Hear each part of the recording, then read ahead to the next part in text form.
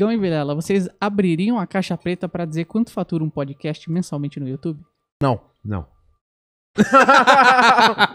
o Flow fala, tem um monte de entrevista do Flow, eles falando o valor, é só pegar lá. Quanto que o Flow fatura, né? Eles falaram já. Isso é o Flow, não é o Podpah e a gente. Acho que uma Que é vez- muito menos.